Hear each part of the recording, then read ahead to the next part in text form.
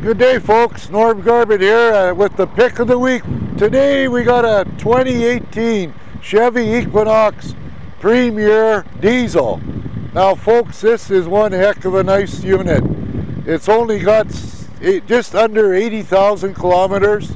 It's in lovely shape and condition and totally loaded folks with everything. And folks if you want to get a vehicle with terrific fuel economy you're looking at it right now. This gets just around 4.5 per 100 and that's a heck of a savings. So if you want to have a look at this just come over to Key Chevrolet in Yorkton or give us a call at 306 782 2268 or give Norm a call at 306 621 7663.